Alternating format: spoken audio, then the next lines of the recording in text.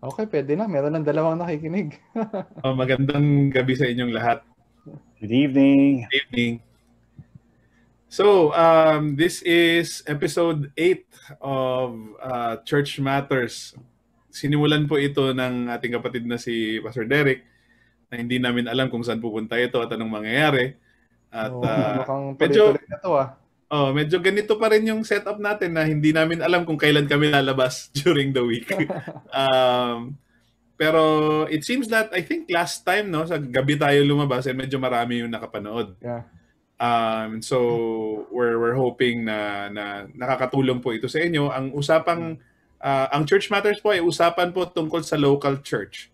Um, kami po ay uh, hindi experts. Uh, hindi po kami uh, Uh, hindi po kami nandito dahil kami po ay magagaling na pastor. On the contrary, um, we we struggle a lot with the things na that, that we talk about. Um, yung mga pinag-uusapan po namin dito ay mga totoong issue po ng mga totoong pastor.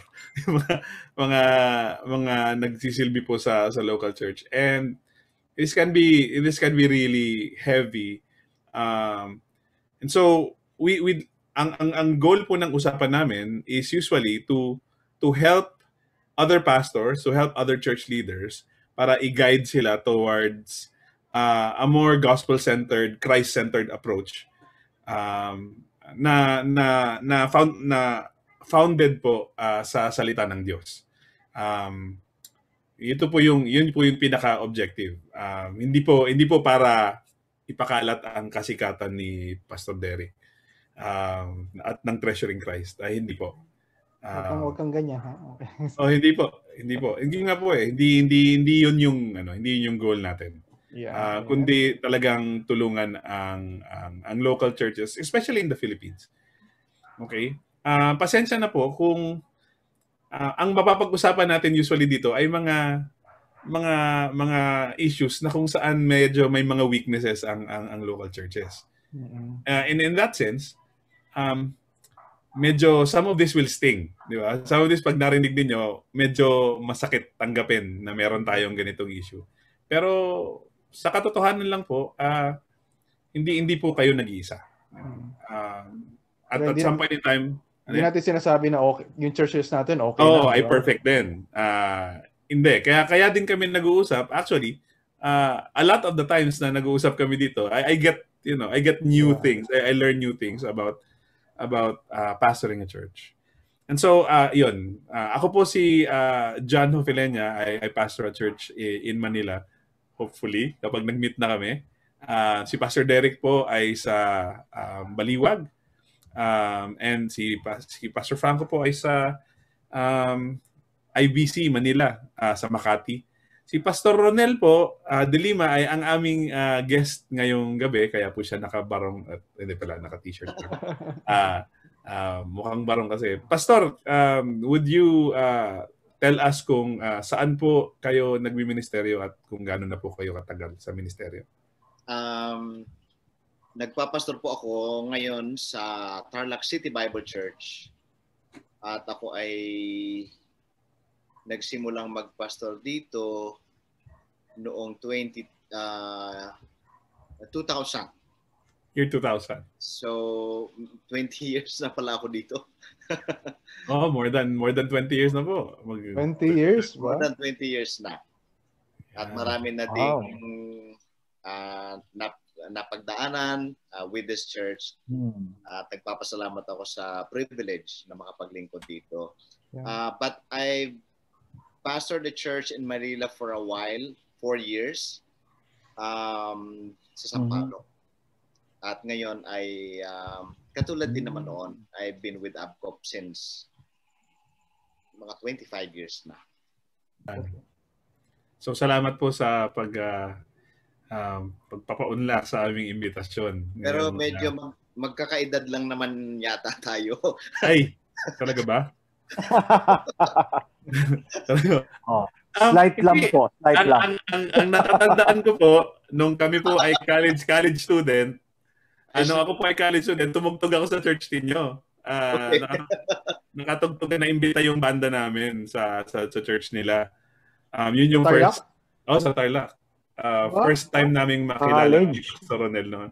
Oh, college students pa kami noon. First year high school, first year high school yata ako noon. Grabe ka naman. Pastor na si Pastor Ronel, masyado naman kayo. Hindi mo so, may kasi puti ang balbas mo eh. Uh, wow, wow, wow. somewhere in the year 2000s yun. Early 2000s yata kami nagpunta. Yun. So, uh, getting to the task at hand, ang ating pag-uusapan ngayon ay tungkol sa um, masalimuot na issue ng church discipline. So, tamang-tama siguro na si Pastor Ronel yung ating... Ay, mag, humanda po kayo, Pastor Ronel, kasi oh, sa inyo namin, yung mga tanong po ay malamang ibabato namin sa inyo ng... Makikinig uh, mas kami madalas. sa'yo. Oh, makikinig lang po kami. Uh, dun sa... Ay, ang sabi sa akin ni Pastor Derek, uh, ako daw ay iniimbita para matuto. Oh, wala akong sinabing gano'n.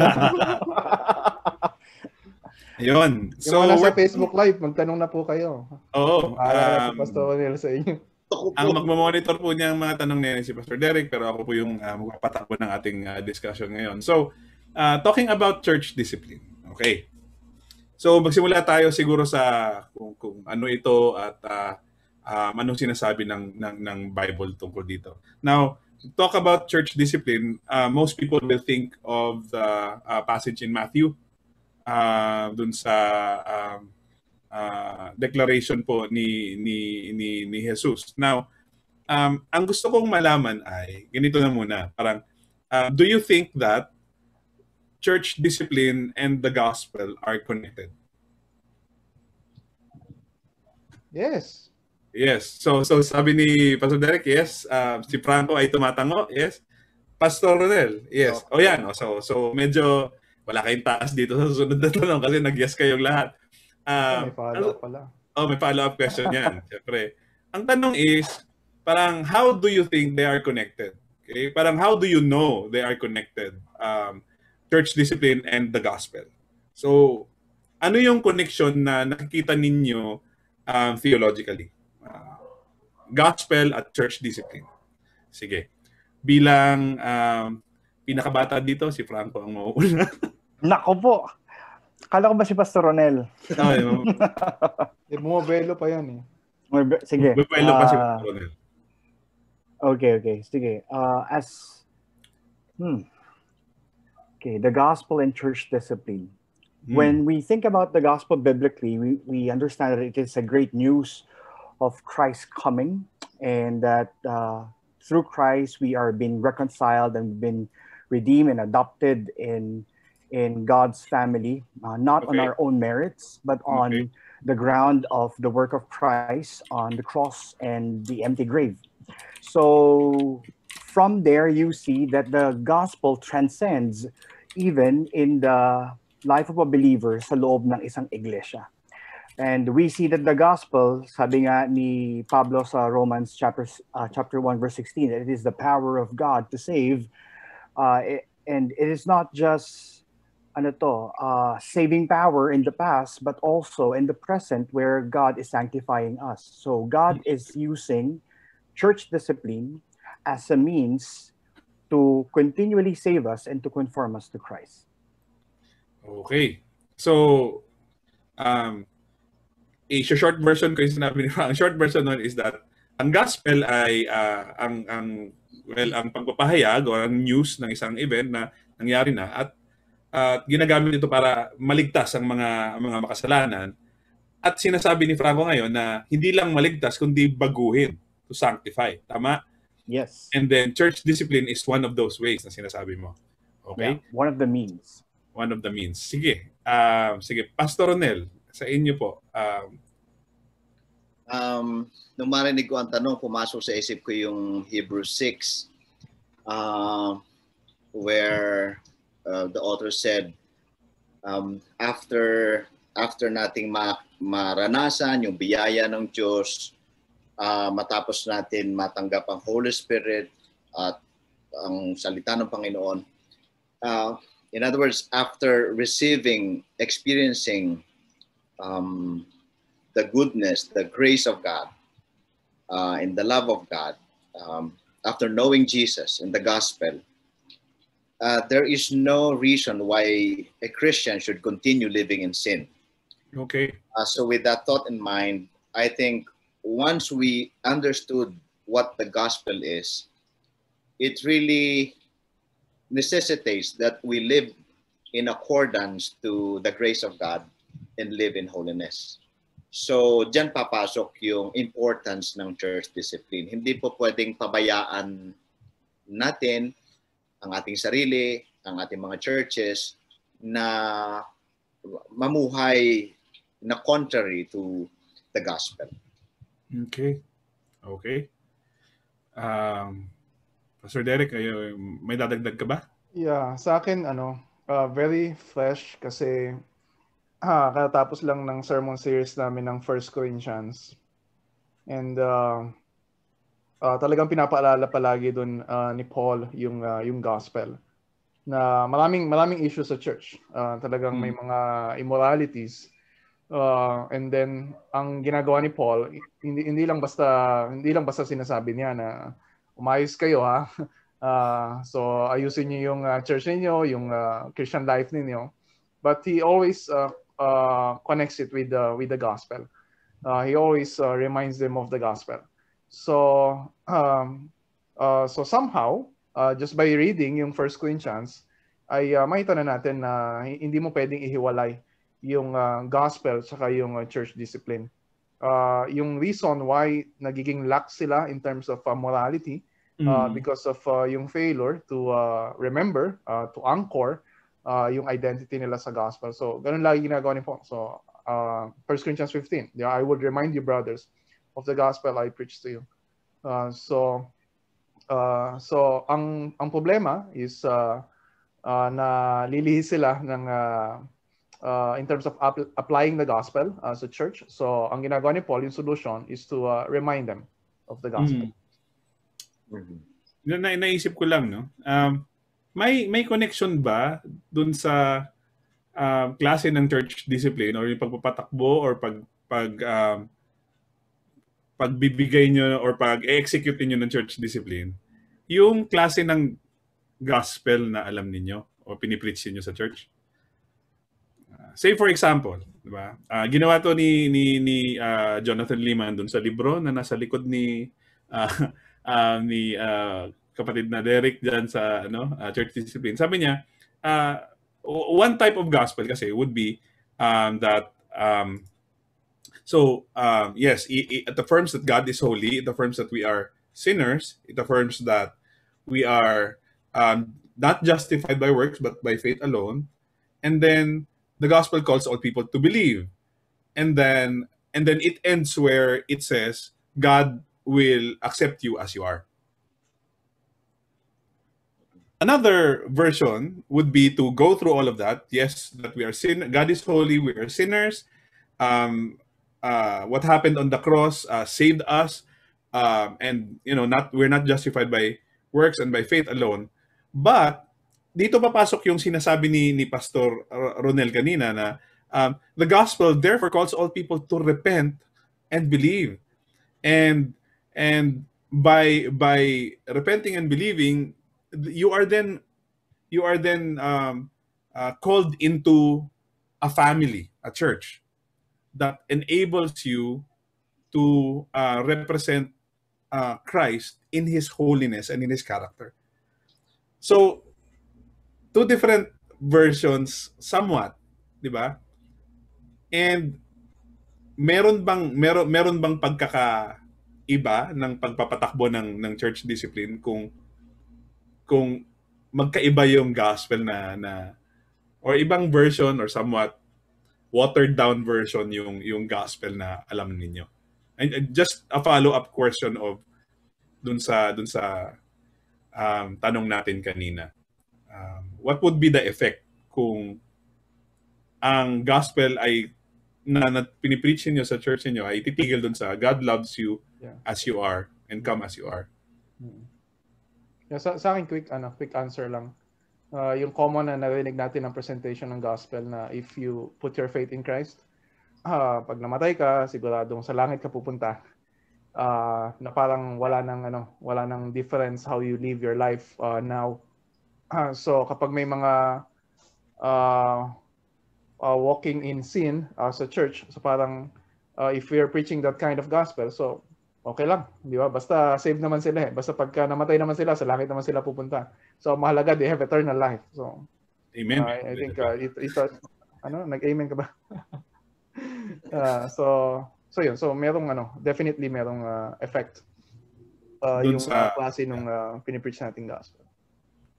Yeah, I think uh, sa ano yan eh, problema yan sa simula-simula pa lang uh, kung anong klase ng gospel ang message natin. Um, eh, kasi definitely hindi po pwedeng walang implications sa sa buhay. buhay talaga yung totoong gospel.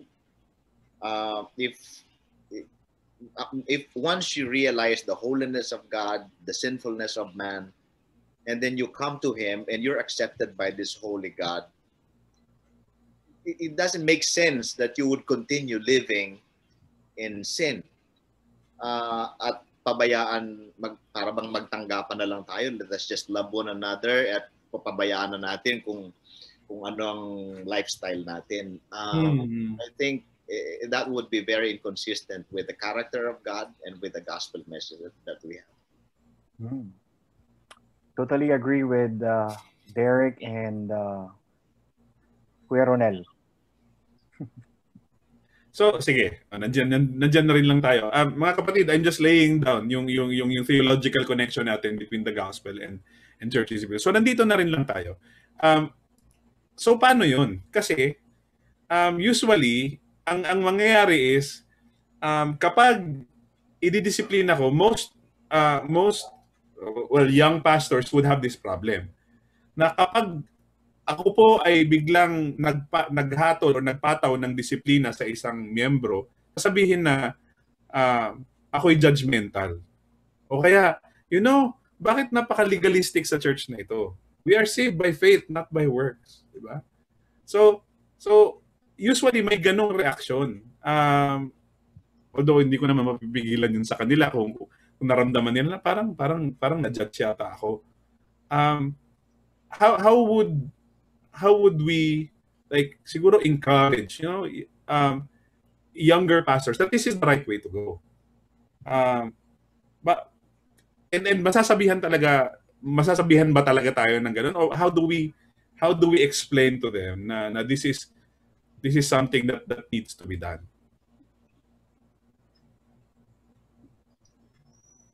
Kasi may mga pastors usually na masasabihan talaga ng gano'n. Pastor, napaka-judgmental mo na ako lang ba ang makasalanan dito? Bakit ako lang yung ina, pinapagalitan mo? Hirap yun ah.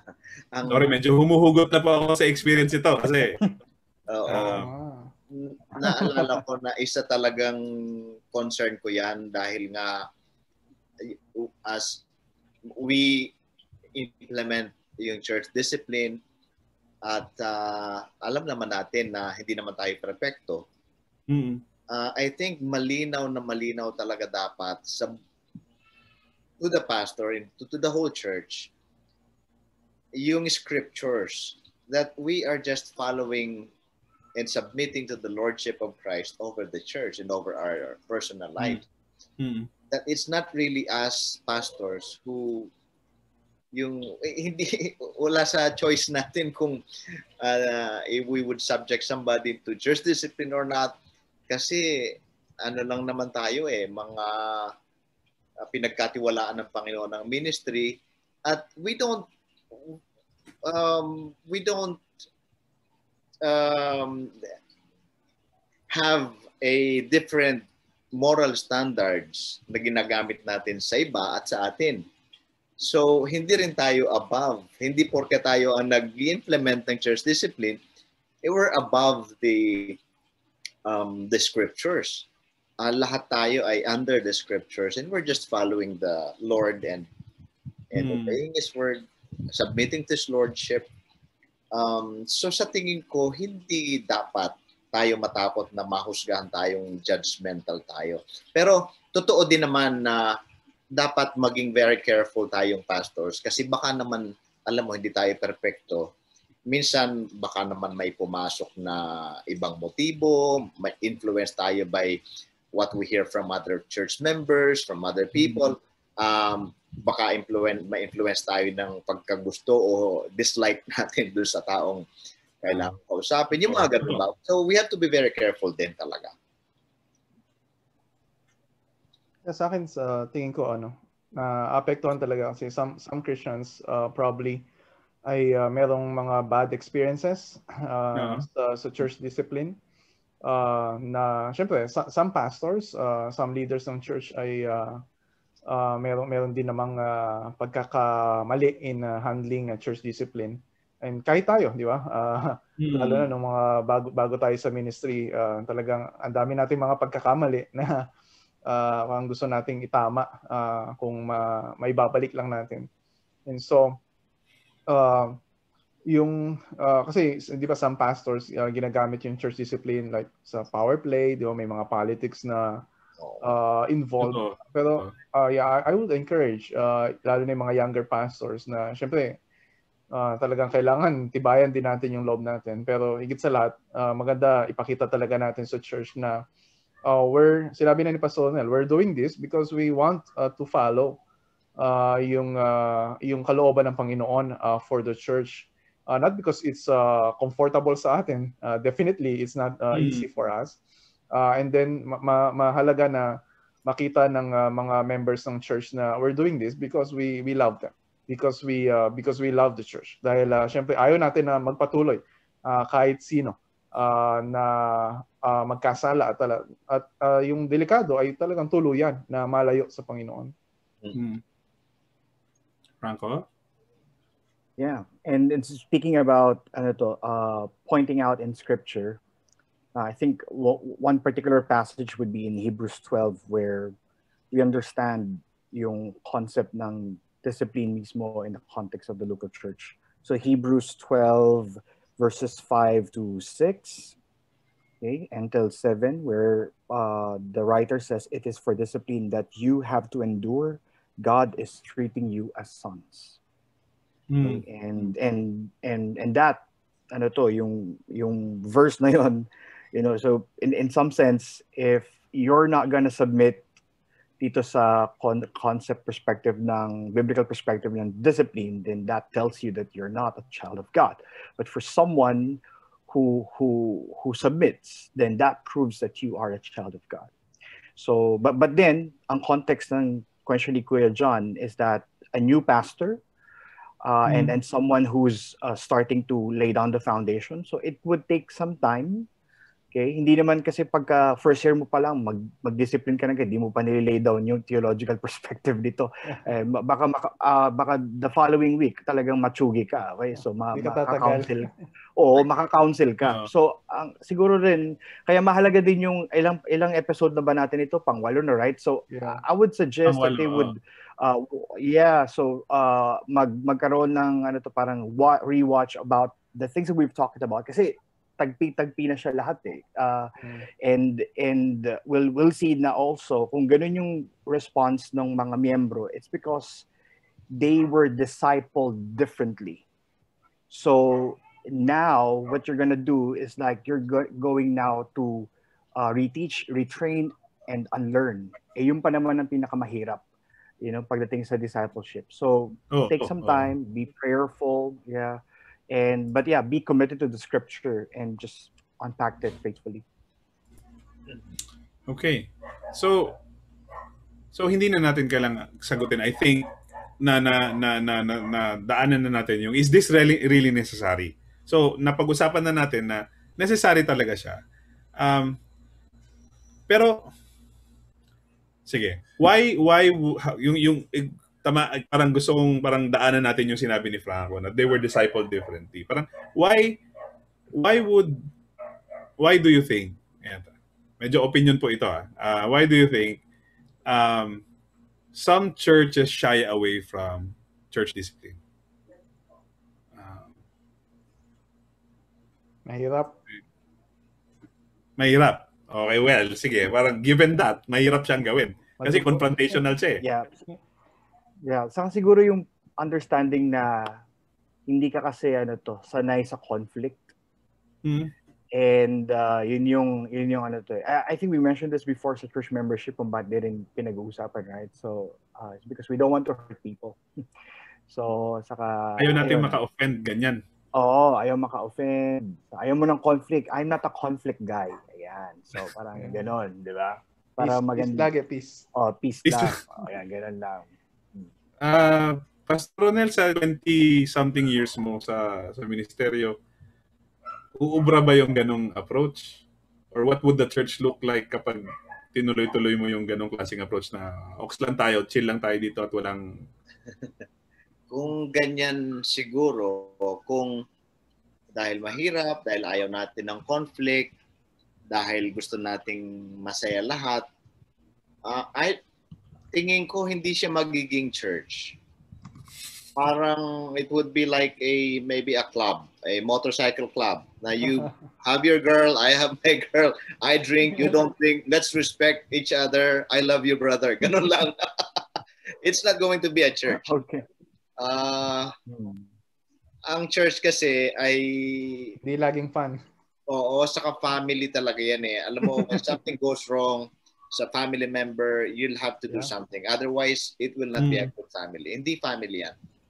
Um, yeah. yeah. Hindi po, it's, it's not going to be a church. Hmm. Parang nakipagbarkada ka lang, doon ka na lang sa barkada mo, masaya. Oo, uh, yun. Huwag ka nang uwi sa bahay kasi magulo. Oo, walang pakialaman. So hindi siya pwede eh. kasi 'di ba parang so so the way that I'm thinking about it. So you have to you have to execute somehow church discipline. Kasi you are a church you represent Christ and sin is against Christ. And ang problema kasi dito sin is ever present sa mga hmm. kahit sa mga Kristiyano. So ang ang iniisip ko there are just there are just two ways that people do church discipline. It's either it's very very lax or it's biblical. Um and most people tend to be or most churches tend to be on the lax side um and and minsan nga dahil sa um, dahil sa um, ang kultura natin sa church, ayaw nating parang gusto natin silang pumunta sa church, ayaw natin silang lumayo, ayaw natin silang oh, di hindi na natin gagawin. Di ba?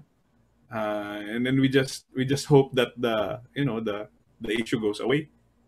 Eh hindi ganoon ang kasalanan eh. So so so it is necessary now. Okay.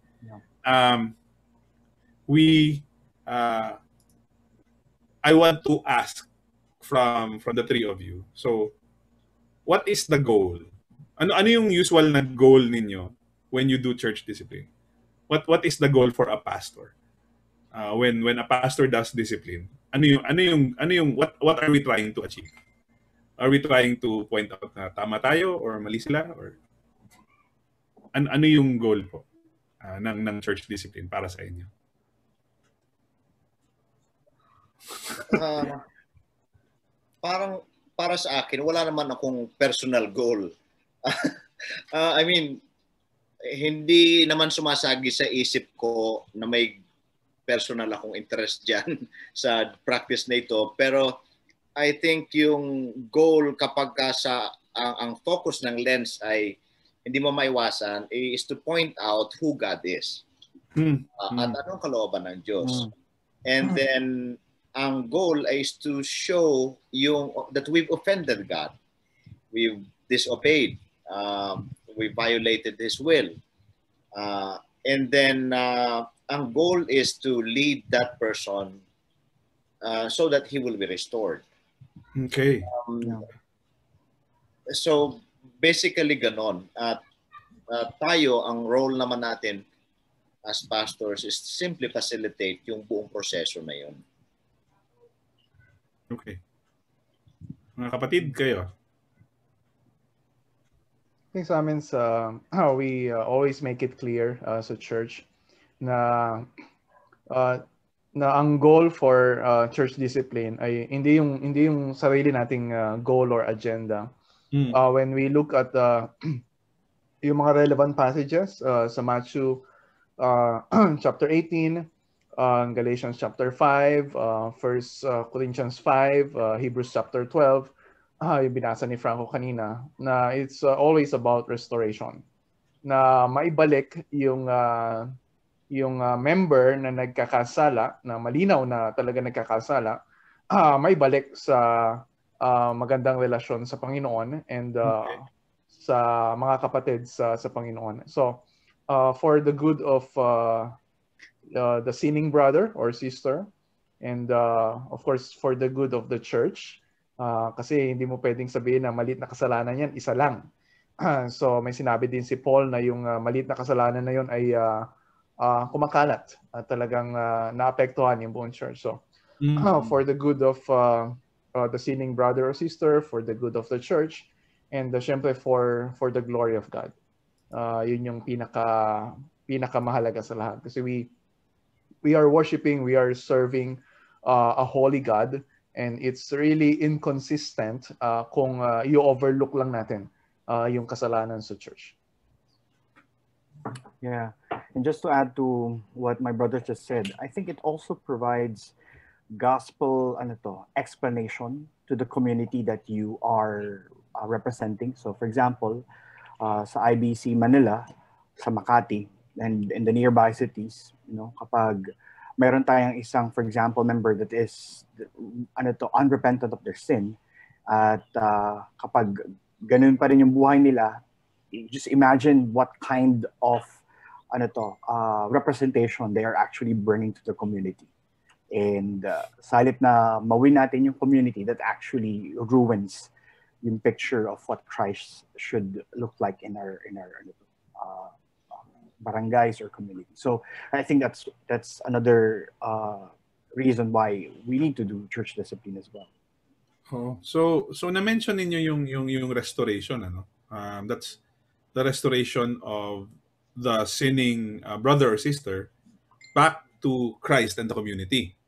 So that sabi nga ni Franco na hindi na didis parang hindi nasisira yung image ni Kristo sa sa community. Um, so I, I know this will be different and sorry papahirapan ko kayo sa parang so what does restoration look like? Parang uh, it's different I know for for different situations. Pero how will you know that a person is already restored?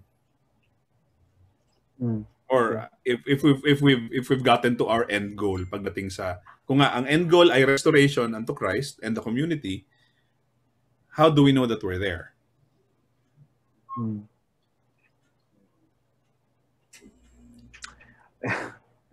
uh, well, I think for speaking sa ano to no sa in, in very as, general terms siguro right yeah okay okay as as how i've seen uh, churches done church discipline uh there are ways kasi the when ang tawag actually hindi church discipline DA Oh, DA. DA ang tawag sa mga Southern Baptists, ano? Discipl- so, disciplinary action, ano? Disciplinary action. So once, for example, you are caught in sin and you are unrepentant, so eh, meet ka and confront ka for that, tas tatanggalin ka sa ministry if you are part of it, then sabihin, laylo ka muna. Okay? tas after yan, eh walang follow-up na nangyari. Walang yung natawag natin na restoration process, which is actually discipleship process or biblical counseling. Walang nangyaring ganun. Eventually, you'll just assume that the person is okay kapag patuloy pa rin siyang nag-church sa inyo. But if the person actually left out the church, so that's something that okay, then we can easily instantly claim First John chapter two, then maybe that person is not really ours. So so in yung I think in yung pitfall in many churches, that's why the word DA in church discipline is iffy in many sense.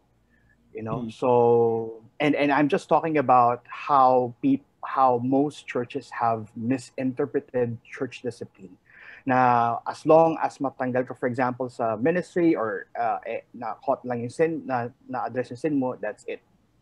And we will just say na, okay, maybe that person will come back to Christ. No. So, and that, that's actually a sad uh, story for many churches. And I've seen that uh, many of my friends actually went through that. Painful actually to see it. Um, them going through it. Yeah. Oh, kapag hindi nila naintindi o hindi pinaintindi, parang feeling ko yung ang nangyari doon hindi hindi pinaintindi sa kanila kung ano yung ano yeah. yung ano yung end goal which is restoration, di ba? Mm-hmm. And so so ano yung, di ba? Parang how do we get there? Um so so Franco told us of the wrong way to do it. Um so para sa inyo po, um and I know it's a unique process pero what's what are the general things that that that you would uh, do uh, to get to restoration and and how do we know that we're there?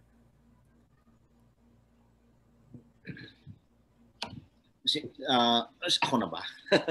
Sige lang po. Uh, medyo uh, mahirap kasi bawat case kasi ay unique. Unique, so, yeah. yung mga hinahanap natin na gusto natin makita, uh, well, yung approach mismo ay uh, medyo hindi, hindi, medyo tailored kumbaga. At uh, pati yung outcome ay may mga specifics din tayo uh-huh. na hanap. Pero uh, typically uh, sa case namin uh, after ng isa sa mga dinadaan ng proseso after na malaman na, after na nag-confess at depende rin sa na mga nakikita natin kung repentant or hindi masyado repentant or na na, na kumbaga na-expose lang ba kaya siya umiiyak or umiiyak ba siya dahil repentant siya. So minsan hindi rin natin ma-distinguish kung ano talaga ang dahilan. So kailangan kailangan ng conversation doon Pastor Ronel no? Para malaman mo. I think yung church discipline should really be done hindi kasi madalian yan eh Mm. Mahabang proseso at maraming maraming oras ang at sessions ang mm. kailangan para well first to determine the facts kung meron ba talagang pagkakamali uh, totoo ba ang nabalitaan o paano ba nalaman nag-confess ba siya ng sarili niya dahil repentant na siya or nahuli lang siya at kung nahuli siya, ano ang ano ang assurance mo na nagsisisi siya or wala na lang siyang choice? Tapos an, pag umiiyak siya, anong ano ang bak- dahilan? Dahil ba sa mga parents niya na na-offend niya o dahil ba wala na siyang choice, napahiya siya o, o buntis na siya, yung mga ganun ba? Um, mahaba siyang process hanggang so basically magkakadugtong 'yon. Uh, kaya yung intervention ay unique din. Mm-hmm. Um, uh, siguro in general terms lang, ako personally, what I'm looking at ay yung mahirap mahusgahan ng tao pero at least I should be at peace to um, to say na that person is really repentant. Repentant na siya. Uh, kasi posibleng hindi eh. Uh, mm pwede siyang sumunod, pwede siyang umiyak, o pwede nga, pero hindi talaga totoong repentant. So gusto ko makita yun yung, yung genuine repentance. Uh, although, sabi ko nga, Diyos lang talaga naman ang nakakabasa ng puso. Pero at least meron naman tayo mga signs na hopefully would would uh, the Lord will show us para masabi natin na parang repentant nga ito. Uh, and then, uh, makita mo yung kanyang pagtingin doon sa ginawa niya na hindi niya na siya na, hindi niya na ipinagtatanggol kundi talagang siya mismo ayaw niya ng pagkakasalang yon. Um, there has to be a realization na mali talaga siya at ina-affirm niya yung tama.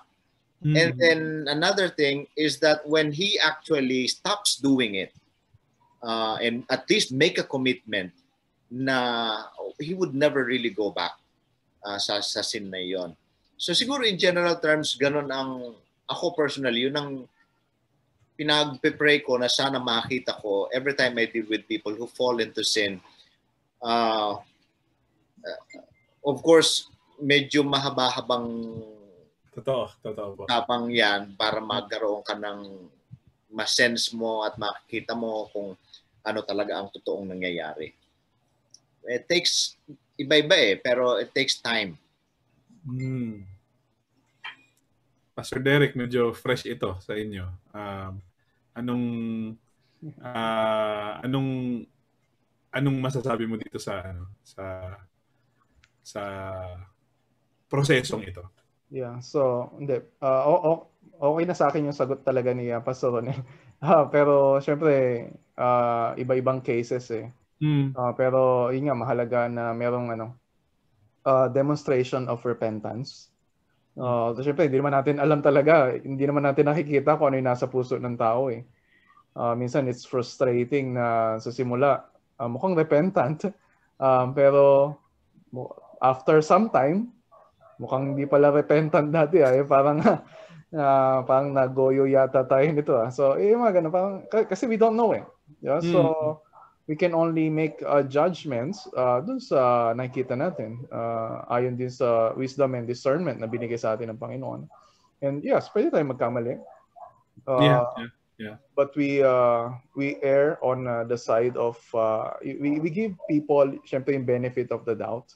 Yeah, na, yeah. totoo. Okay, nagpakita siyang repentance, so we we restore him. Pero hindi ibig sabihin na parang minsan kasi parang sobrang concerned tayo na oh uh, kailan ba matatapos yung uh, discipline uh, yung disciplinary action sa kanya, di ba? Parang uh, hindi na siya didisiplinahin. Pero uh, we we realize na when we join a church, we we covenant with uh, we make a we made a covenant with each other na mm. to really care for uh, for for one another na kahit ba wala na siya sa disciplinary action pero binabantayan natin yung buhay ng bawat isa di ba so we carry one another's burden so I think uh, yung disciplinary process ay nagpapatuloy sa uh, talaga sa lahat ng mga members ng church and that's something na we really need to remember so so so ay, sige po. Uh, may gusto lang akong uh, banggitin dyan. Uh, maganda kasi yung tanong na yan. Pero um, may experience kasi ako na sa tingin ko magandang malinaw yung mga tinitingnan o yung goal, yung hinahanap natin kung meron man. At dapat meron talaga tayong hinahanap at gustong makita. At sa tingin ko, hindi lang dapat isang tao ang nakakaalam niyan I think definitely the pastor should know, also the leader should know, and yung tao mas mismo na, na who is undergoing church discipline, dapat malinaw na malinaw din sa kanya kung ano ang ang uh, pinoproseso natin at anong hinahanap natin, ano yung end goal natin nito. Dapat malinaw din sa kanya 'yon. Kasi may recent akong um, uh, medyo hindi mas magandang experience na uh, nag-undergo siya ng discipline, well, supposedly, may process na susundan, pero ang problema, walang nakakaalam ng process, walang nakakaalam ng goal, eh, except mm. the pastor. So, inabot na ng isang taon, dalawang taon, walang nangyayari. Yung taong nagsisisi, hindi alam kung talagang nagsisi na ba ako, nasaan na ba ako. So, wala, hindi alam kung ano nangyayari. So, I think it should it should be very, very clear um, kahit doon sa tao, lalong-lalo na doon sa taong dumadaan sa proseso.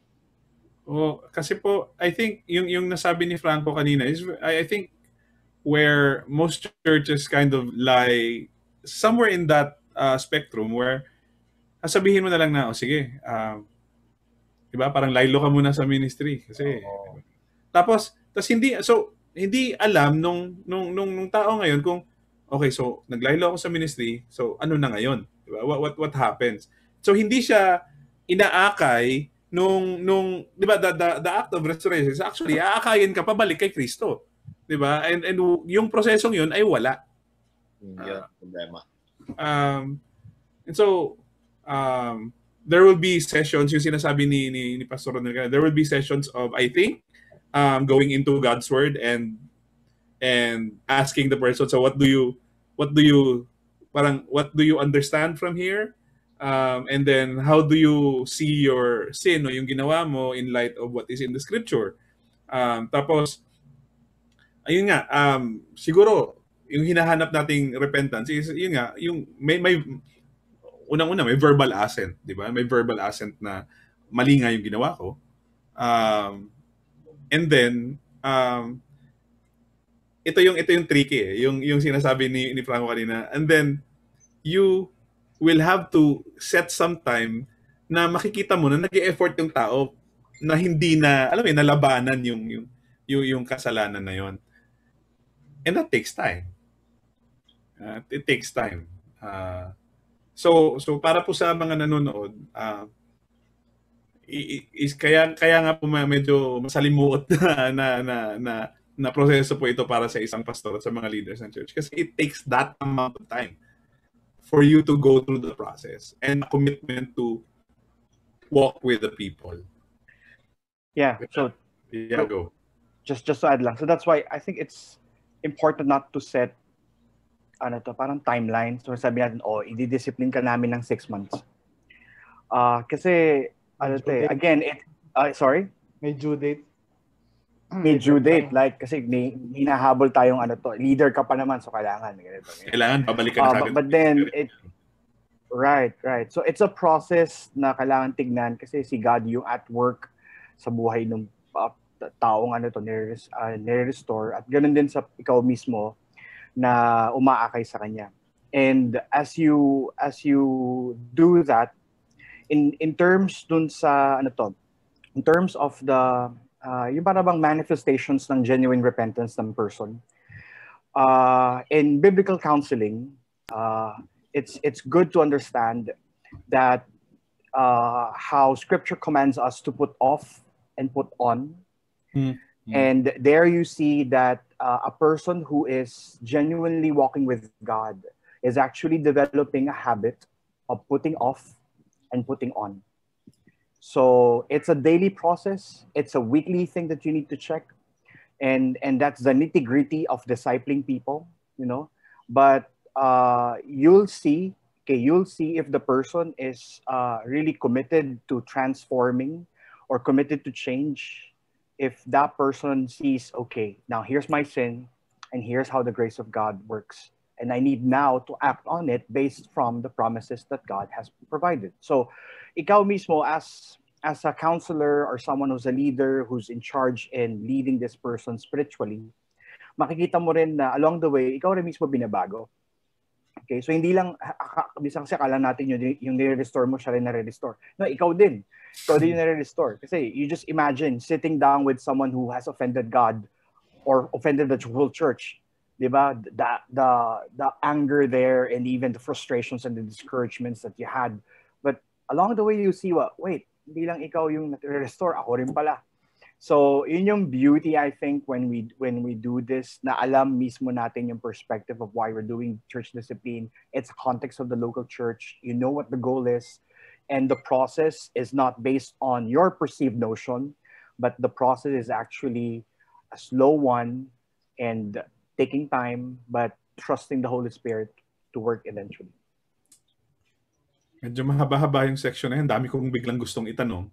Pero sige, oh. meron meron ditong question si uh, kapatid na Derek Pahalya sa sa ating uh, Facebook uh, live.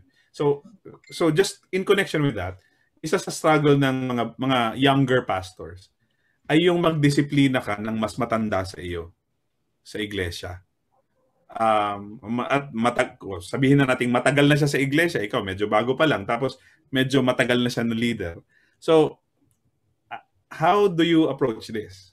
How would you encourage a younger pastor to approach this kind of situation? Kasali tayo sa younger pastor, di ba? Kasali tayo sa younger pastor. So, malamang si Pastor Ronel yun yung natanong natin dito. Oo nga um, sa experience uh, hin, sa experience ko, parang hindi naman sa biyaya ng Panginoon, hindi naman ako masyadong nahirap. Well, mahirap talaga mag-implement ng church discipline. So given na 'yon.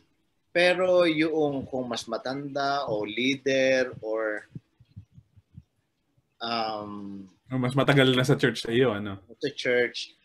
Um, uh, sa tingin ko, factor talaga din yon at mas nagpapahirap yun sa buong proseso. Pero um, I think kasi dumating ako dito sa church, if you can imagine 20 years ago, at most of the members ay matatanda sa akin. uh, lahat ng leaders matanda sa akin. Walang kasing edad ko at walang kasi I came here 25 years old. And I pastored the church. Um, at ay siyempre hindi ako ang unang pastor, may mga missionaries na umalis. Um, so pag nung may need na for church discipline, wala akong maalalang except yung lately ng mga bata sa akin. Karamihan o halos lahat ay mas matanda sa akin. Pero um, isa sa principle na alag, lagi kong iniisip sa akin as a young then a young pastor ay ito. Um, I'm I'm just doing my role as a pastor. Uh, so pantay-pantay tayo. At tungkulin ko ito. Pangalawa, ako lagi kong nasa likod ng isip ko na ang sinabi ni Paul na if you're dealing with a mother, dapat ituring mo siyang parang mother mo. Kung tatay, parang tatay mo. Yung mga sis, yung mga kapatid na dalaga, parang sister mo with absolute purity uh, yung parang family, family ang konteksto. So, um, laging nasa laman ng isip ko yon. So, maingat na maingat at magalang na magalang na ini-implement yung buong proseso. At hindi ko kinakalimutan na bata ako kaysa sa kanila. So, kinakailangan kong igalang sila. At hindi ko dapat tingnan ng mas mababa sila sa akin dahil lang nagkasala sila. So, hmm um, so yun, kaya the way I deal with them, kung papaano ako nakitungo sa kanila nung wala silang pagkakamali, ganun din nung may pagkakamali sila. Uh, magalang, maayos, at parang pamilya uh, na kailangan gawin ng kalooban ng Panginoon. At, at isa pa, hindi lang naman ako ang gumagawa ng church discipline. Yung church discipline, eh, laging leadership. So, hmm. bagamat dumadaan, ang counseling karamihan ay mag-isa o dalawa o tatlo. Hindi kinakailangan buong leadership. Depende sa case eh. Uh, pero hindi laging ako lang. So, kapag ka mayroong church discipline, malinaw dapat sa lahat na they're not dealing with me. Uh, hindi hindi ako hindi ako ang main person dito na na kinakailangan nilang uh, that they have to go through. Hmm. Um, Natatakot tuloy mga members sa mga pastor. Oh. Lagot ka kaya. Oo, oh, eh, pinag ginagawang panakot eh. Dati, nung hindi pa kristyano, alam, may mumu dyan. Uh, ngayon, eh, si pastor. Lagot ka kay pastor. Anyway, anyway. So, uh, yun, um, hindi naman dapat sigurong tingnan na ang pastor lang ang kinakailangang kadil dito. It's, it's the whole church trying to obey the Lord um, at pamilya tayo. Uh, so, uh, eh, siguro to wrap it up, uh, it, idi pakitunguhan sila na parang kapamilya, parang nanay kong nanay, parang tatay kong tatay, parang kapatid kung halos kasing edad natin, ganun ang pakikitungo sa kanila magalang. Pero at the same time, huwag mong hayaan na, sabi ni Paul sa Tagal translation natin, na hamakin ka dahil sa iyong kabataan. Kailangan mo talagang execute ang ipinagkatiwala sa iyo ng Panginoon. So, gentle but firm. Yeah. Yeah. Medyo, ayan, and, and to find that right balance is really, uh, pag pag ini-explain ni ni Pastor Ronel parang ang dali-daling gawin ano? Pero parang, parang pero pero to find to find the balance there I think is um lalo na dun sa nagtanong is one of the I think one of the things that you need to pray for uh, sa sa Panginoon na, na, na mahanap mo yung balance na yun na to be and, and very very helpful para sa I, I think Pastor Ronel yung sinabi mo na that they're not dealing with me as a pastor parang una your sin is against God. And hindi lang ako yung apektado dito, kundi yung yung, yung mga tao sa paligid mo uh, na na hindi lang ako kundi may mga tao sa paligid mo na affected ng sin. So so it's not just me, 'di ba? Parang kumbaga I'm I'm I, I want to guide you through this process. And pero isa sa mga Yeah. Ang, ang mahirap din kasi, ang isa sa parte ng proseso na yun ay pakita yung mali, ay mali talaga. Uh, min, minsan doon nang doon nangyayari yung yung I think um, yung offense. Uh, the offense part is usually there. Now, just siguro a, a very very short um, short uh, tangent. Paano makakatulong yung agreements ninyo sa sa church membership dito sa sa prosesong to? Oh, wow. Parang sa, sa church membership, kung may agreement kayo, na, na, na, naisip ko lang to um, uh, very, very recently lang po na mas napapa na streamline yung yung proseso ng ng uh, ng church discipline. Kung may agreements tayo to begin with sa sa church membership. It must be part of uh, our members covenant. Uh, and uh, kasama yon na uh, if you uh, want uh, to be a member of the church uh, you also commit to submit yourself uh, sa sa discipline ng church. Uh, so again magkakabit to kasi ano, konektado din sa sa question kanina. kasi ang kaya mahirap kasi iniisip natin na yung pastor yung uh, nag-i-implement ng uh, church discipline. Pero there's a reason why we're calling it church discipline. Hindi to pastor's discipline. Pas- pastor's discipline, dinidisiplina ka ng pastor. Yes, we take the lead kasi tayo yung uh, uh, leader leader leaders ng church. Uh, pero it's church discipline. So ibig sabihin, you submit uh, sa discipline ng church. Although syempre hindi naman lahat ng kasalanan bino-broadcast uh, sa buong church. Uh, pero uh, and yun yung difficult kapag uh, yung isang pastor, lalo na yung uh, younger pastor bago sa ministry, ay talagang doing uh, everything uh, sa church discipline na siya lang mag-isa. Mm-hmm. And so we need to involve uh, yung buong church. Uh, Siyempre, hindi, hindi sa lahat ng step. Uh, pero in terms of uh, yung buong church, equip how to deal with discipline. Kasi may mga discipline cases na hindi mo nakakarating sa atin uh, ng mga pastor eh. Diba?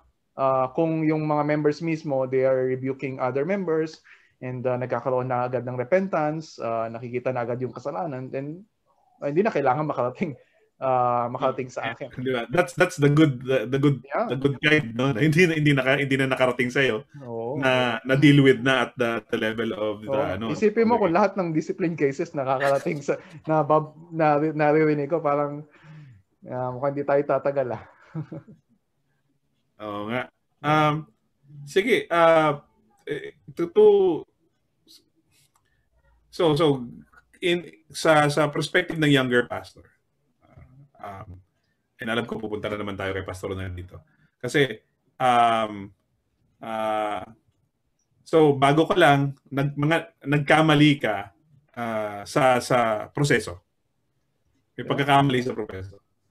Um, siguro, from your experience, um, a good question would be, Pastor Ronel, um, what, what, what are good things to remember so that you can avoid abuse or misuse of the practice of church discipline. Um, and then paano pag nagkamali ka, um, ano yung dapat gawin? What, what would you need to do if if you made a mistake? Baka ikaw na disiplinahin. Oo. um, si, um, magbanggit lang ako ng ano para maiwasan siguro. Kasi totoo na mara, meron talagang abuse ng church discipline. Mm-hmm. Um, especially, uh, siguro alam naman natin kung ano ang mga dahilan kung bakit may mga abuse like um, power play, um, uh, ginagamit minsan ng pagkakataon to get even, yung mga ganyan. At kung may iba pang motibo. Um, or simply, parang i-boost lang yung ego ng pastor. Uh, may posibleng may iba pa. Pero um, sa akin, um, just offhand, ano, two things. Number one, to make sure na hindi magkamali, dapat malinaw na malinaw na yung dinidisiplina lang o inaaksyonan lang ay yung malinaw na talagang totoong kasalanan ayon sa Biblia. Wala nang ibang didisiplinahin kung hindi kasalanan. Kung sa tingin mo kasalanan bilang pastor pero sa Biblia hindi naman, ay huwag dapat malinaw na malinaw kung ano ang preference mo. Halimbawa, ang daming nadidisiplina dahil hindi kursunada ni pastor ang nanliligaw sa isang kapatid. Ay, wow. I mean, walang ganyanan, walang pakialaman, di ba? Hmm. Kasi ano eh, hindi hindi naman 'yan kasalanan eh. Um, in other words, dapat malinaw na malinaw na you're just following the scriptures. Dapat malinaw talaga 'yon kasi kung hindi malinaw sa scriptures 'yon, huwag pakialaman. Uh, dapat na meron tayong pakialam pero bawal ang pakialam merong pastor. May pakialam, huwag pakialam. Wow. Okay. So, yeah, that's one. Scriptures talaga ang basis. Uh, dapat malinaw yun. Pangalawa, uh, to avoid yung pagkakamali, maganda na pinoprocess talaga ito with the leadership. Hmm, hmm. At least merong check and balance, merong mga elders na magsasabing may ibang opinion dyan, hindi lang isang matang nakatingin. Uh, so mas-safeguard din yung process. I think that's one of the reasons why sinabi ng scriptures na magdala ka ng isa, dalawang witnesses uh, para may merong merong there are other people involved. At uh, saka so that way yung pastor may ingatan din uh, na hindi naman siya po pwedeng mag, magkasala kasi there are dangers kapag ka lumusong na tayo sa iba-iba kasing issues eh. Minsan may mga very sensitive na parang wag ka na dapat makialam diyan. Uh, kaso kailangan hmm. minsan. So diyan papasok yung uh, minsan uh, yung kakausapin mo, kakaunselan mo ay ay uh, ay babae o hindi ma, ma, at minsan may mga masiselan na usapin. So diyan papasok yung role ng other leaders or yung mga kapatid na closest to the person na nagmamalasakit, nagmamal hindi kinakailangan sa amin na hindi kinakailangang official na elders um, hindi laging official na elders ang pupwede lang na nandoon. Pupwedeng ito yung pinakamalapit sa kanya, na kapwa, kapatid niya sa Panginoon, na nakakaalam. Uh, minsan kung pwede nga i-confine lang doon, uh, with others, no? Hmm. Uh, sa smaller group, um, sa tingin ko maiingatan ng pastor na huwag lumagpas doon sa kanyang dapat na ginagampanan lang na role. Um, sure, merong pagkaka, may danger talaga. Ngayon, ang tanong ko, paano kung nagkamali ang pastor? Mahirap yun. Uh, kasi buhay ng tao ang pinag-uusapan natin dito. Alam mo, parang alam mo, kung computer ang hawak-hawak natin, gadgets, inaayos natin, nasira, okay lang eh. Pero kung buhay ng tao, minsan kasi ang implications ay maraming, minsan the rest of her of his life eh. Yeah, yeah. yeah. Um, so talagang hanggat maaari, maingat talaga na huwag magkamali. Pero dahil nga hindi tayo perpekto, kung magkamali sa tingin ko, ano yan? if kung kailangan humingi ng tawad dun sa taong nagkasala eventually, um, baka kung kakailanganin yun, dapat gawin yun eh. Kasi pag nagkamali ang pastor, minsan may effect yan sa buhay ng tao. O hindi minsan, definitely meron yan. May kinalaman yan sa o pwedeng masira ang kanyang pagtingin sa Diyos, pagtingin sa church, pagtingin sa Christianity, sa kabuuan, um, pwedeng masira ang buhay ng tao eh. So sa tingin ko ano, kung kinakailangan na pag na-realize si pastor na nagkamali siya, pwede siyang humingi ng tulong kung hindi niya kaya mag-isa, hingi siya ng tulong at ayusin at mag-apologize at at learn from the experience. I think very, very kailangan gawin yun. Very, very important yung yung last part na kay learn. Okay, I, I, let's not do that again. Parang, uh, Pastor Derek, may... Yeah, uh, recently, uh, pinag-usapan kasi namin mga elders din ng church. Uh, na syempre gusto namin ngayon mas maging uh, intentional uh, sa pagdidisiplina. Uh, pero syempre binabalikan namin yung mga early uh, years of uh, our ministry together na hindi kami naging uh, ganong consistent, hindi ganong ka-firm uh, and loving uh, sa pagdidiscipline. And so mahalaga din na marinig ng church na na yes, uh, we are your elders, uh, pastors and church, pero at the same time we are not perfect. Uh, nag nagkamali kami. Uh, pero we want uh, to make a renewed commitment na talagang ano, uh, we'll uh, try our best, uh, syempre uh, by faith, uh, na i-practice yung uh, biblical church discipline. And so kaya I uh, I will also advise uh, lalo na yung mga uh, kasi maraming churches solo ang pastor. Uh, mm. talagang mahirap 'yun eh. Kapag nagkamali ka, uh, you will take the ano, you'll take uh, all the blame uh, doon sa pagkakamali mo. Uh, or kung merong mga accusations sa'yo na wala namang basis, mahirap din na depensahan yung sarili mo kung ikaw lang mag-isa. Uh, pero if you have uh, uh, elders sa church, uh, kaya yun yung susunod na uh, pag-uusapan natin. Uh, kasi ano eh, uh, we, we, kahit tayo yung senior pastor, we are implementing church discipline as uh, a body of elders. Uh, so kung ako man halimbawa nagpapaliwanag sa congregation kung ano yung process ng church discipline, um, kailangan malaman nila na this not just my ano, uh, my initiative uh, pinag-usapan ito ng mga elders ng church. So kung magkaroon sila ng mga problem yung uh, mga members sa uh, process, uh, it's, it's not against me. Di ba? It's uh, uh, yung elders, we are united na ito yung hakbang na gagawin natin.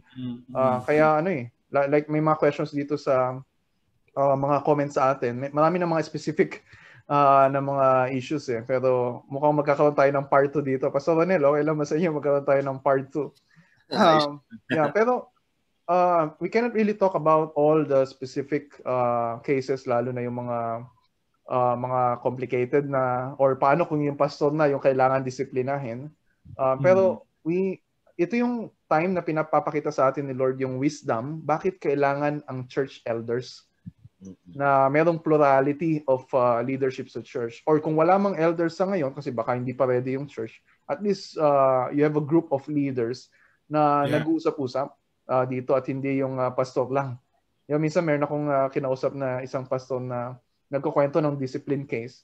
Maya-maya yung language niya, dinisiplina ko, tinanggal ko. Sabi ko, ikaw yung nagtanggal uh, sa member, di ba? It's, uh, it must be, ano, uh, uh, syempre tayo yung uh, primary, uh, yung leading authority. Pero uh, we, ano, we practice church discipline as a body with a group of elders and uh, syempre the whole church merong culture na uh, caring for one another.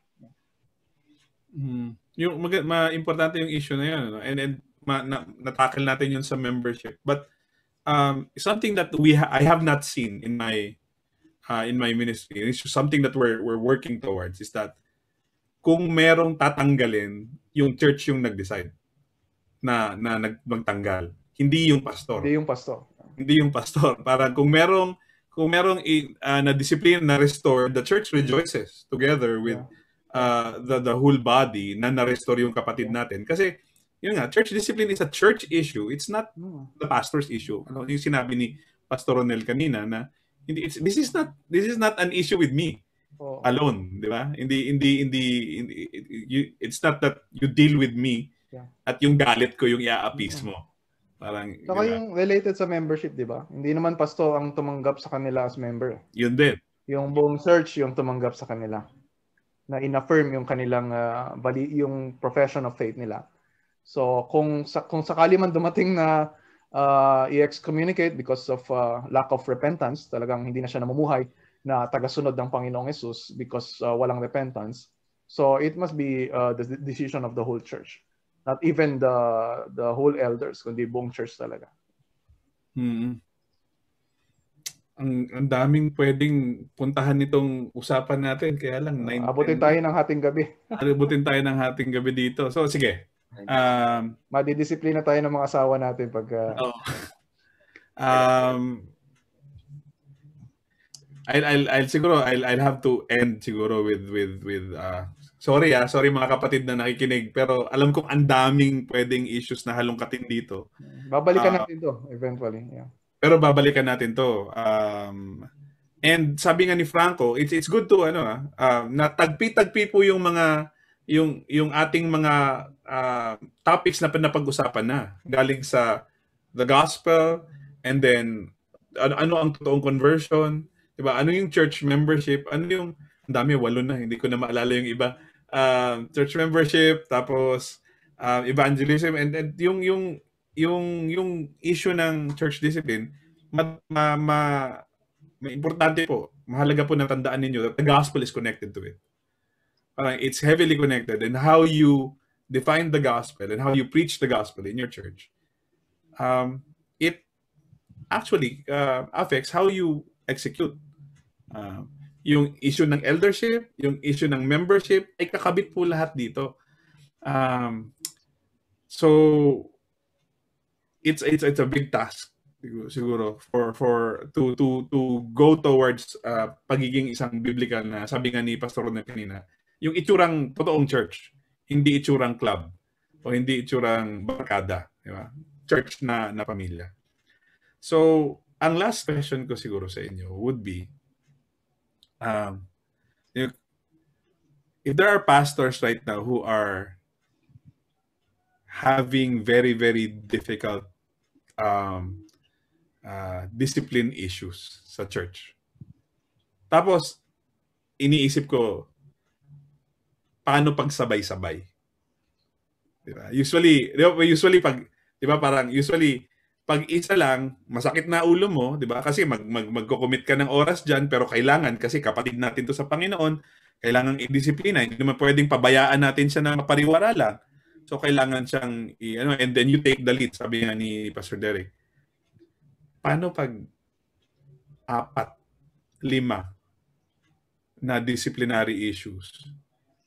Tapos lahat ay komplikado ano yun? So I'm just giving you a, a situation where a, a, a, a, a pastor might feel so overwhelmed um, in doing church discipline. Um, can we just leave siguro um, this night um, with uh, word siguro of encouragement na mean coming from your experience and coming from from scripture or what the Lord has has been teaching you in the past couple of years.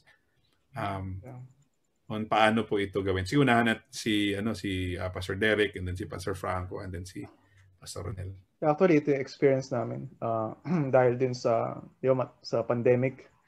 So matagal na lockdown, so may several months din na hindi kami talaga nakapag-meeting uh, ng mga elders. And uh, talagang ano, uh, nagsabay-sabay uh, na nabalitaan namin yung mga kailangan na disiplinahin and uh, it's ano it's a it's a burden so heavy uh, to bear. And so ang paalala namin sa bawat isa and I would remind uh, everyone then na going through uh, the same burden na you don't have to do it alone. And you cannot do it alone.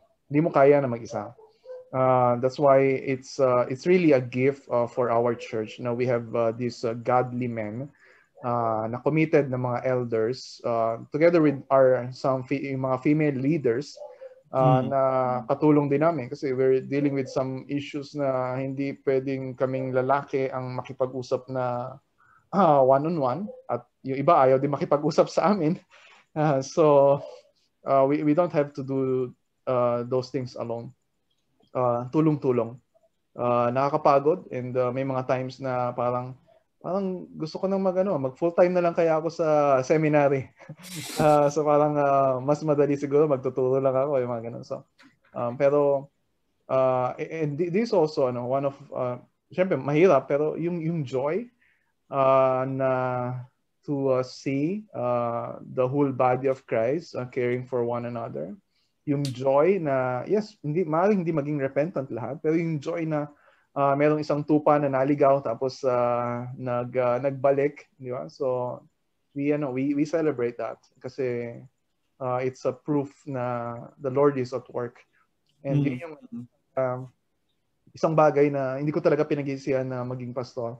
Uh, kasi uh, yung, meron, meron tayong front row seat eh, na makita how God uh, works uh, sa buhay ng mga members Amen. natin. And even in uh, small ways na makakaya natin ay naging bahagi tayo doon, di ba? Sa, sa preaching of the word, uh, sa counseling sa kanila, and even speaking yung mga hard words sa kanila na kailangan nilang marinig. Amen. Amen. uh, encouragement to a pastor who's dealing this on his own at this time and uh, madaming mga kalaay discipline. And you, feel, and you might find yourself limited, uh, inadequate, and you might see yourself weak. Uh, when we trust in God's providence, you see that that is actually an opportunity for you to see yung sufficient word ni God, yung sufficiency ni Christ, and how your limitedness actually gives you an opportunity to see how unlimited our God is. And you might have all the burdens right now on your shoulder, but you need to, we need to keep in mind this is God's church and we are stewards you know we are stewards and god understands now well, there are there are nights that you're you're just going to give up you know probably okay? and then you you lay it down to the lord cry out to him ask for help you know and and turn back to his promises okay and uh you may not you may not uh, to, uh deal with it simultaneously but uh, trusting in, in, in God's work at your church, uh, He is going to do this, uh, not for you, but for Himself. So uh, also keep in mind na as you are going through all these challenges, don't ever forget na ikaw mismo kailangan mo ng renewal ng grace ng Panginoon on a daily basis. So that's where you're going to ano to, be sustained. That's where you're going to be steadfast, and that's where you're going to find endurance in in this. Uh, and our prayer is that uh, as you move along in the long run, you're gonna have leaders who's going to lock arms with you. Okay, pero at, at this time, if you're that person, uh, yeah, parang minsan yung phrase na fix your eyes on Jesus pwede siya maging cliche. But uh, I, I think yun yung parang, this, that could be your lifeline, you know, to thrive in, in this calling and ministry that God entrusted to you. So press on, brother pastor. Um, uh, is I agree na with Pastor Franco na dapat tandaan natin um, na ang church talaga ay hindi natin pag-aari at hindi naman talaga tayo ang nagbi-build ng church. Mm-hmm. Um, ultimately, ang Panginoon naman talaga ang may-ari ng church at siyang nagsabing, I will build my church. Kasama ang church discipline doon sa ayusin ng Panginoon.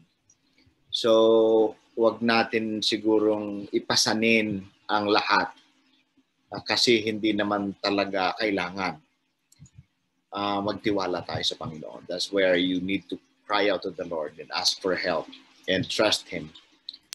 Uh, kasi ang Diyos ang mag-ayos niya. Um, you can do everything, pero makikita pa rin natin talaga na yung kalooban ng Diyos ang nangyayari sa church. So number one, yan yun, magtiwala sa Panginoon pag-aari niya yan. Pangalawa, siguro ano, uh, kung meron ng leaders, kung wala pa manalangin na magkaroon tayo lagi ng kasama sa ministry, uh, hindi talaga pwede, hindi talaga pwede, mga kapatid, ang mag-isa sa ministry. Um, hindi rin pwedeng asawa mo din lang ang partner mo. Kailangan mo talaga ng mga kapwa elders, uh, leaders sa church na katuwang dahil hindi disenyo ng Panginoon na gawin natin lahat yan. So, always bring someone with you kung pwede sa mga prosesong ito. Uh, isa pa siguro ay take your time. Uh, hindi naman kinakailangang isolve natin lahat yan ng mabilisan. In the first place, bawat bawat case may sarili siyang time talaga. Hindi mo siya pwedeng pagsabay-sabayin, hindi mo siya pwedeng kung anong timeline mo sa isang case, ganun din ang timeline sa isa.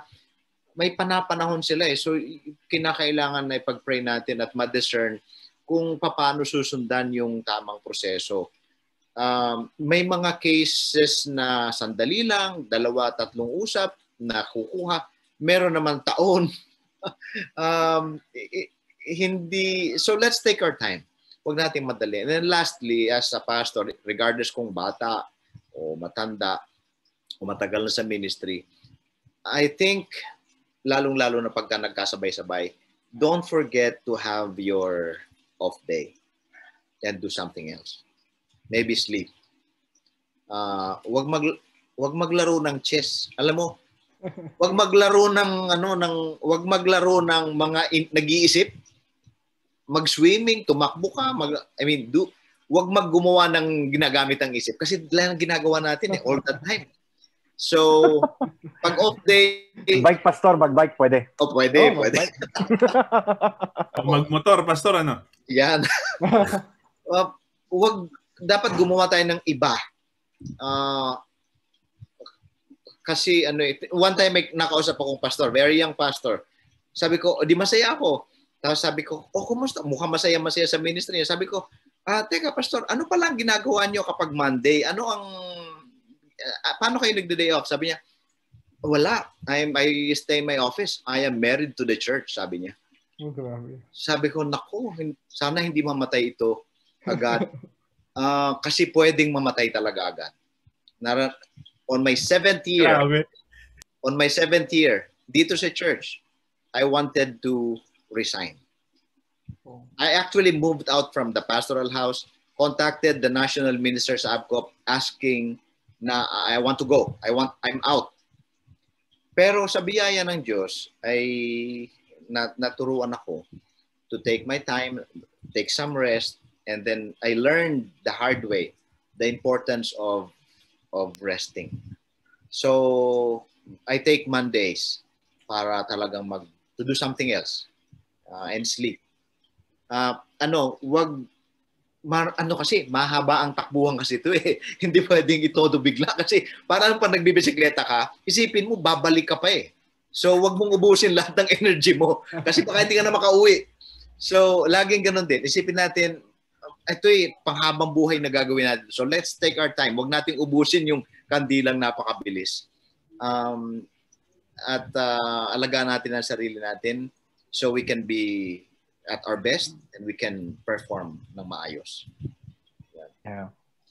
Well, siguro ikaw ko na dagdag na sabi ni Pastor that I think that's that's very ano to encouraging also for pastors who are really full time and doing the work and when when we take time to rest that actually gives you the time to worship and really give to the Lord na Lord again I, I, I want to lift these burdens to you sabi mo, let me just cast this and I'll just cast this down. So, yun. Minsan kasi pag, no? yeah, minsan kapag nalalaman lang na, uy, si pastor nag-day off pa. Di ba dapat, ano yan? Di ba dapat, dapat palaging, ano Oo, oh, dapat go, go, go, go lagi. Oo. Sabi nga ni Derek minsan sa post niya, pwede rin manood ng Netflix. Okay, so magpahinga. Okay. Kaso baka papanoorin mo sa Netflix naman yun, sobrang ano to, mag-iisip ka. so, so mag-bike na lang pastor, no? Mag-bike gusto, na lang magmotor. Gusto ko yung, yung gusto ko yung recommendation ni Pastor, mag-swimming, 'di ba? Parang maglakad-lakad, 'di ba? So, yeah. yeah. So, hearing from from three of you, I, I'm learning a lot. Um, salamat sa inyong tatlo.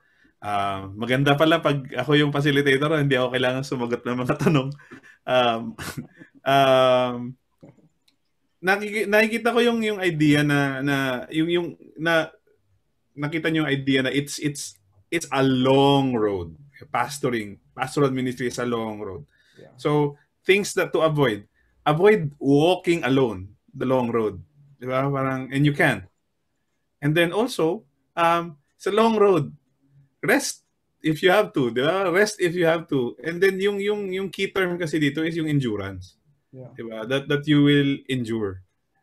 And uh, sa mga and and, and uh, this is from experience also na sa mga ngare wala pa kayong katulong sa sa ministeryo ngayon.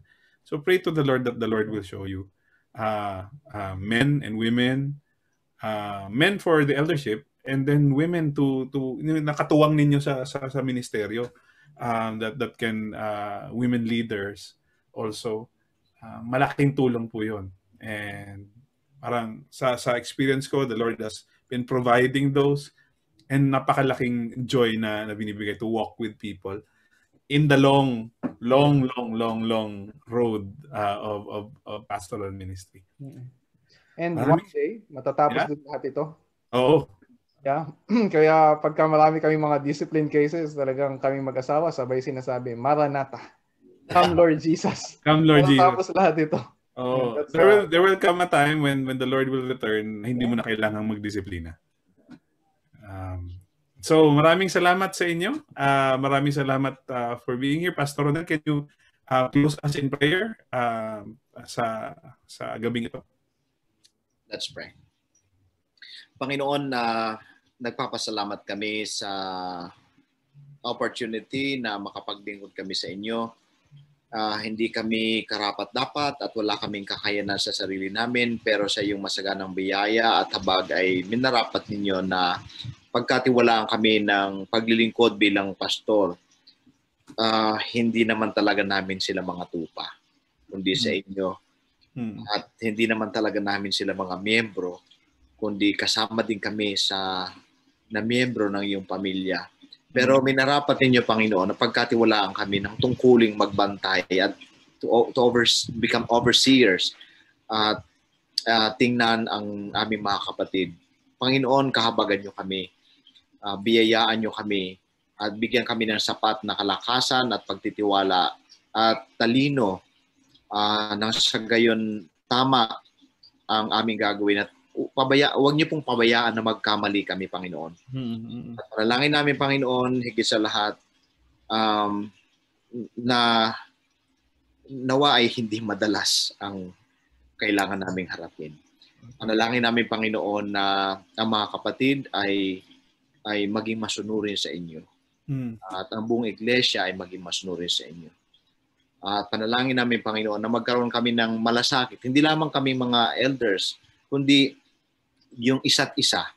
Um, nang sa gayon, Panginoon, maiwasan yung pagkahulog sa pagkakasala. At kung may mahulog man, agad-agad ay may tutulong. Hmm. We pray, Father God, that you give us wisdom and bless us, Lord, with your grace so that we can do our roles as as uh, shepherds, as overseers of your church. Panginoon, sa lahat ng ito, panalangin namin na mag-glorify kayo hmm. at makita namin ang iyong kabanalan ng kaluwalhatian. Gamitin niyo kami, Panginoon, sa pangalan po ng Panginoon Jesus. Amen. Amen. Amen.